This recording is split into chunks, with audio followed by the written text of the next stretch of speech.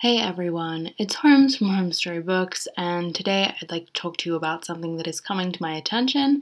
This video is all about accessing LGBTQ books and the issues that I have with accessing them and the overall implications of that lack of access. So, my process for creating a video is pretty simple. I stick all my ideas in a Word document with tags, I find the books, I read them, then I do the video. Sounds fairly straightforward. Often I have the idea for a video, write down the list of books that I need for it, and then I'm stuck on the second step. I can't find the books, or at the very least, they are difficult to access.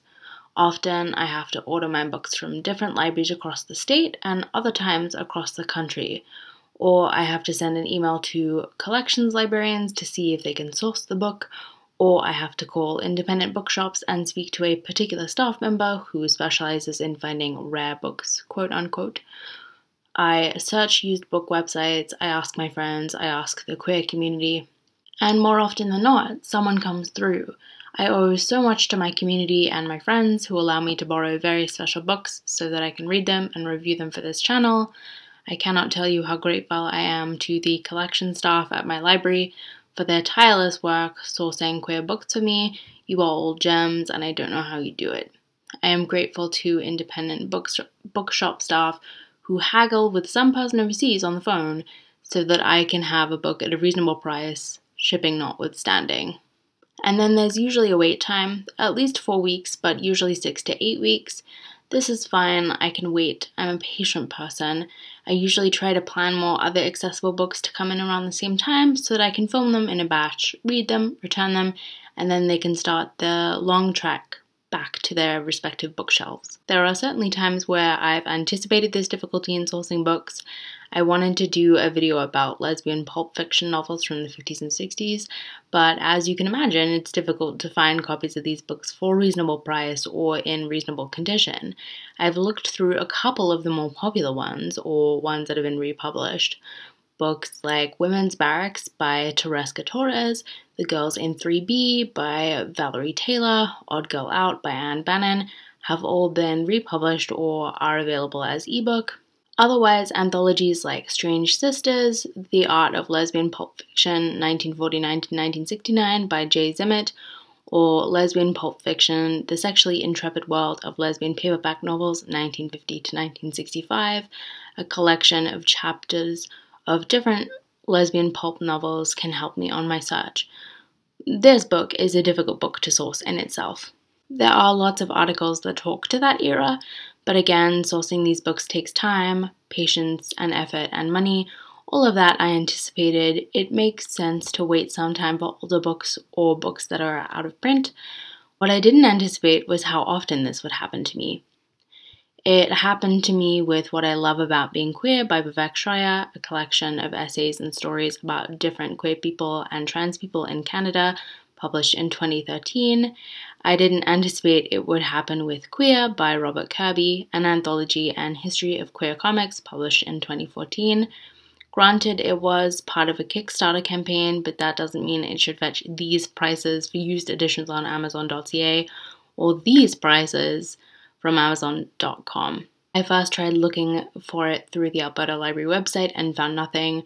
So once again, I contacted the collections librarians of my library who said there may be six possible copies in six different Canadian libraries that they would try and said that it would take six to eight weeks to get to me.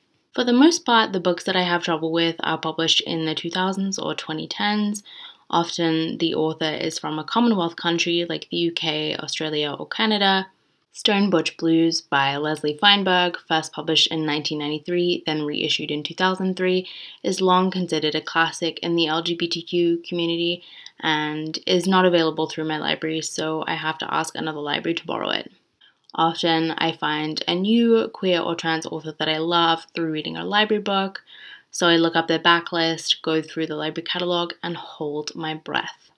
After reading Tomboy Survival Guide by Ivan Coyote, a book long listed for the Canada Reads Prize in 2018, I looked through their back catalogue. My library, thankfully, had many of their books, but some of them only in ebook, which is not a format I like to read.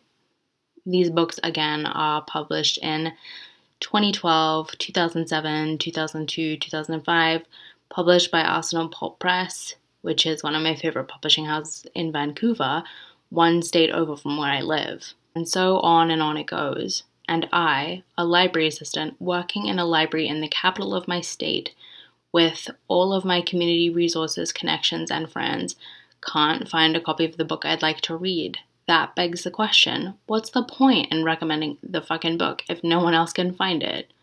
That would make the whole, I recommend you read this book, kind of pointless. Talking about rare books is, of course, important, but if no one else can access the books I recommend, then why recommend them at all? Because they're important, because they reflect my history, my culture, collective knowledge, because the language I use to describe myself comes from them, because the rights I have, I have because of them. It reminds me of an Instagram account, LGBT History, run by Matthew Riemer and Leighton Brown, who went to an event commemorating Frank Kameny, who was a queer rights activist who I just had to Google because I didn't know who he was. If you'd like to know, Kameny was dismissed from the US Army MAP service in Washington in the 1960s for his orientation, which spearheaded many court cases, many of which he lost, but he's an activist nonetheless. The same thing happened to Leighton and Matthew.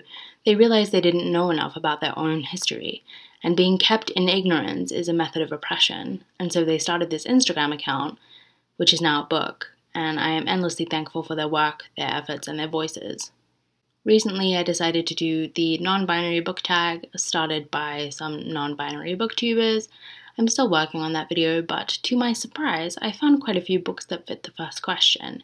Name a book that features an NB character. One of them is Two Strand River by Keith Maillard, a book I had to request through the Alberta Library System, first published in 1976. It apparently is one of the first published books to feature a non binary character, but non binary people have existed since before 19- 1976. Non binary people have existed for as long as people have existed, but what names did they use before the word non binary came into being?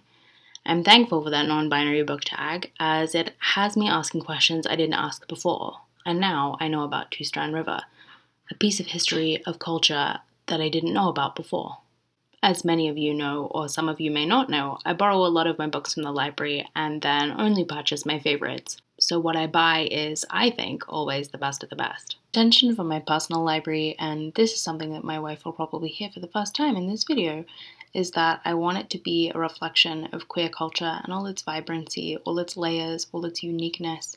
I want a clamoring of voices, a shelf full of rare books, paperback books, old books, new books, I want to find all the books that were published in the mid 2010s and give them a damn home before they disappear to library book sales, basements, and charity shops around the world, before they're damaged by water or by bed bugs or by some other type of fungus that can eat paper, before they're burned in an accidental fire or burned because they were challenged and taken from a library's collection. Is it so bad that I want them at my fingertips? A question I have to ask when they seem so hard to find.